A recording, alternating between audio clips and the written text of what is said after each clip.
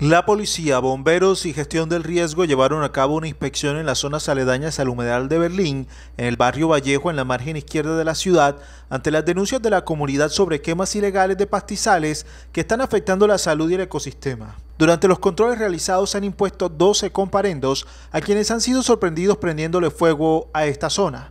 Sin embargo, la comunidad afirma que esto no ha sido suficiente para frenar la problemática, ya que las quemas continúan de manera recurrente. La situación genera preocupación entre los residentes quienes afirman que se está dañando el humedal, pero además afectando la salud respiratoria de los habitantes de urbanizaciones como Vallejo y otros sectores cercanos. La comunidad ha pedido el apoyo decidido de la policía para frenar las quemas ilegales que se están realizando en esta zona de la ciudad. Las autoridades indicaron que continuarán realizando operativos para controlar la situación y hacer respetar las normas ambientales.